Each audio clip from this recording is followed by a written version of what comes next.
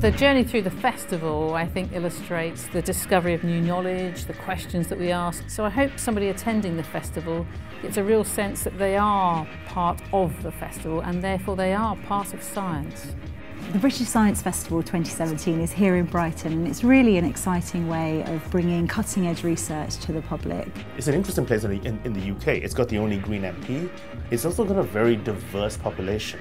That's the reason this is an ideal place to have a national science festival. To have it here in Brighton, which is Festival City, is a perfect combination. So the amazing thing about this festival is that it is free that it spans the whole of the city centre. There are events all over the place. So we have a range of people from all walks of life and I think that helps to show that you don't have to be a certain kind of person to be a scientist. Anyone can be a scientist either professionally or in their everyday lives and I think the festival really helps to demonstrate that.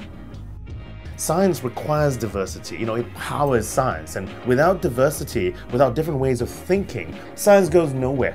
I think science and education is really a universal language. It doesn't matter your background or where you're from or you know what you believe in. It, I think the British Science Festival for me is a platform where you can communicate science to, to anyone.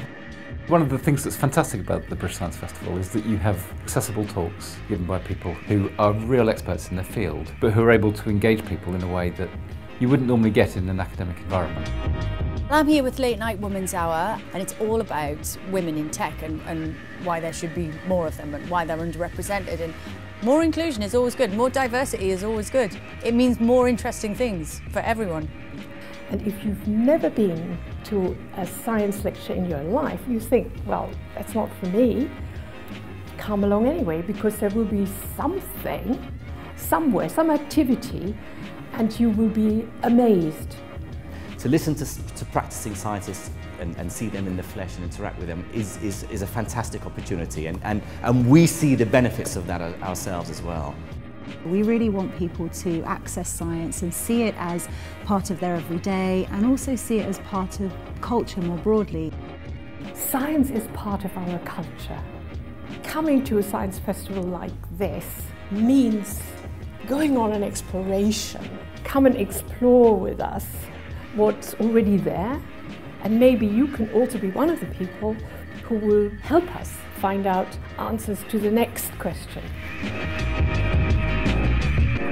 Thank you.